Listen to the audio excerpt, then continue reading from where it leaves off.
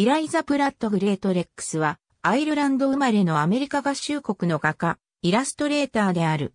アメリカ合衆国における女性画家の先駆けの一人で、女性として二人目のナショナルアカデミー・オブ・デザインの巡回員となった。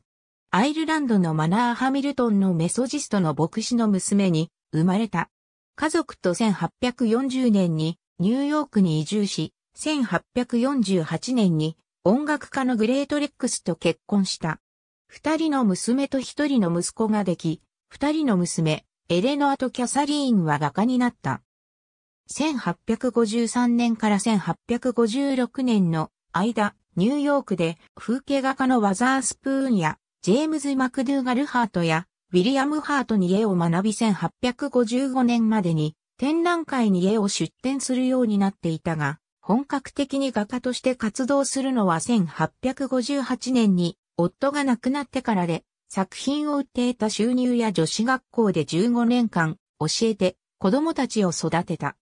1861年にはフランスを訪れ、パリ郊外でランビネに学び、1870年には娘たちを連れてミュンヘンに学び、絵画館で娘たちと修行した。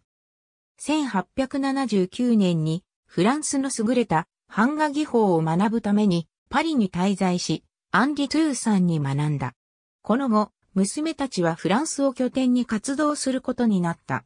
はじめ、アメリカの伝統的なスタイルの風景画で知られるようになった後、ペン画やエッチングに移り、多くの画集をの形で出版した。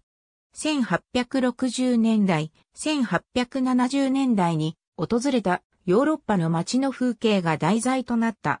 1868年にナショナルアカデミー・オブ・デザインの巡回員に選ばれた。